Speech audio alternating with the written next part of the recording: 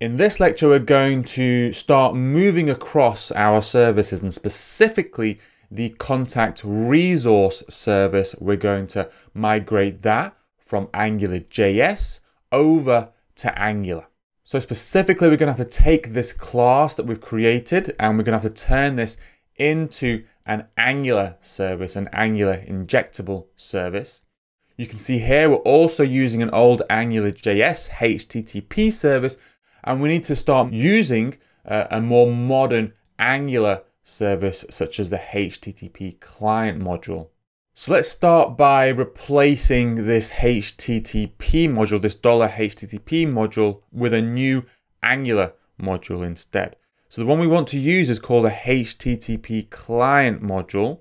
And let's start importing that to begin with. And you can find it in Angular Common HTTP. And what we want to do to inject in an Angular JS application is just by providing a typed argument to the constructor. So I'm going to provide one with private HTTP and the type of that is this HTTP client there. And because I'm specifying it as private in the constructor, I actually don't need to specify the, the member property there. And you can see now straight away it's complaining about this old dollar $HTTP service.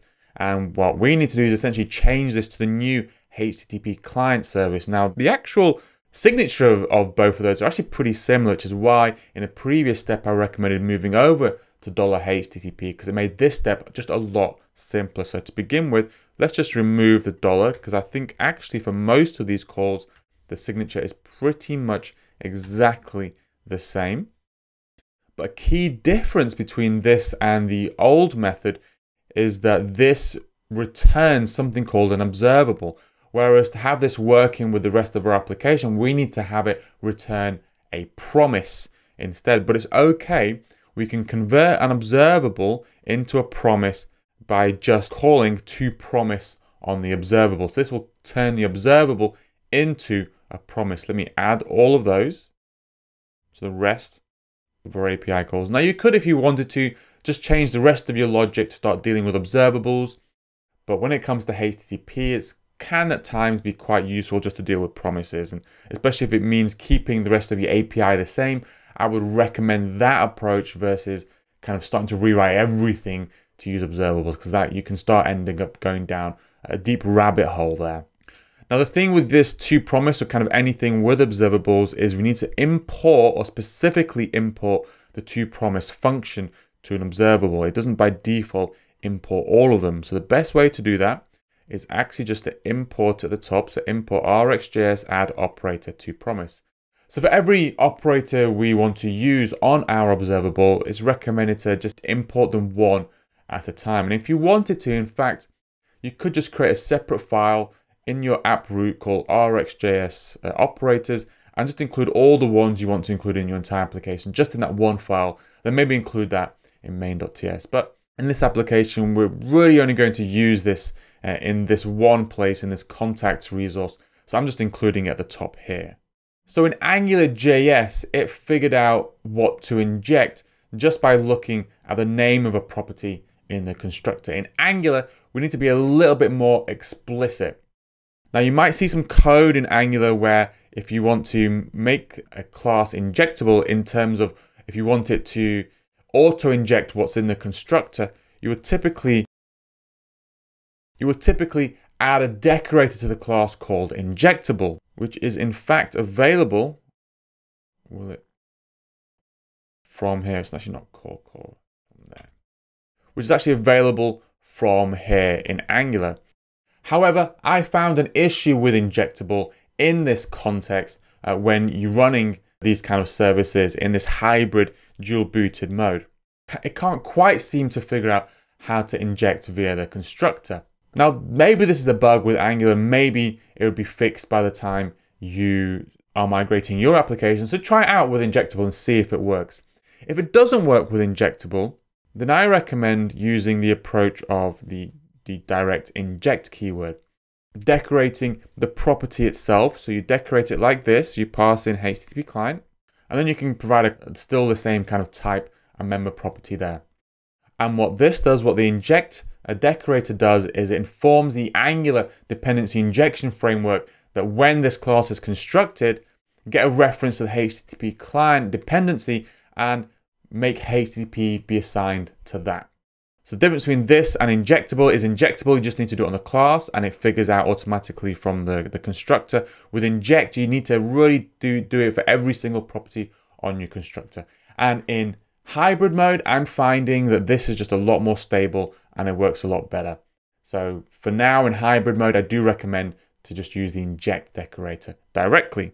So just to visualize what we're doing, we've taken our hybrid mode, a dual booted application, and we've taken our leaf node, the resource, and we've kind of rewritten it to be Angular 5 or modern Angular. But if you remember, in order to be able to use an Angular entity inside an Angular JS entity, so that resource is still going to be used inside our contact service, and our contact service is still Angular JS. So we need to do something. We need to do something called downgrading. So we downgrade the resource, an Angular resource, so it can be used inside an Angular JS service. And that's what we're going to do right now. So we first need to import a function from Angular from our upgrade module. And the function we need to import is called downgrade injectable. And again, you can find in Angular upgrade static. And then right at the bottom, where we're defining our Angular JS module, we need to do a couple of things. We need to change it from a service into a factory. And instead of just providing the contact class, we need to wrap it or call downgrade injectable, injectable, pass in the contact, and, um, and yeah, that's it. So that's what we need to do in order to downgrade this contact service, this now Angular contact service, so it can be used inside AngularJS. And there's one other thing we need to do. We need to actually make this available to the Angular dependency injection framework, which means we need to go into our app module at the top and we need to add it as a provider. And in fact, we need to do something else as well. So the first thing I need to do is I need to add a providers property. And here I'm going to provide our contact, which we just created. And then let's just, yep, import that in. In fact, it's just from there.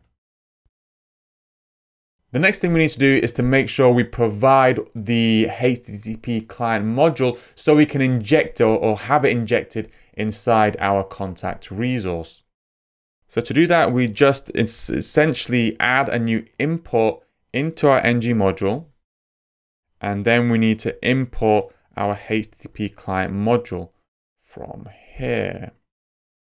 There we go.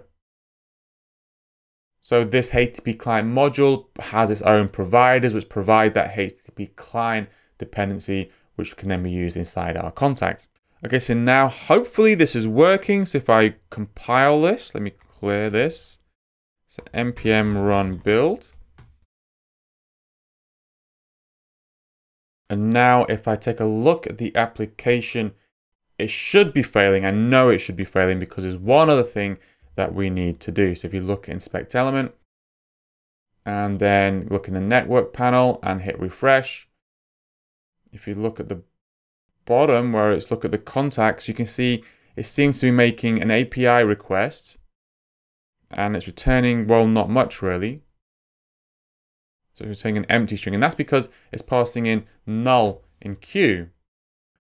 Now the reason it's doing that is because, well, just a slightly different way in which our new HTTP client library is dealing with these parameters. In the previous one, if it was if it was being passed null, it would just send nothing. In the new one, if it gets passed null, it will actually send the string null. So just to make sure it's not going to be sent null, let's go into our search, and, and the the queue is being sent from the search here. So we look here. Um, queue is this search. So all I want to do is essentially, instead of defaulting that to null, let's default that to empty string. And the other thing we need to deal with is the fact the API, well, the HTTP client library is returning information in a slightly different format. The old dollar $HTTP library would return us the information in the data property of the results. Now it's actually just going to return us the array directly as this res property. And so it's going to be returning an array. We can then check for the length is equal to zero there. And then, yep, I believe that's it. Let's compile this. And now if I go back into here, hit refresh, everything's working as we expect. And we can edit and save and do all that wonderful goodness.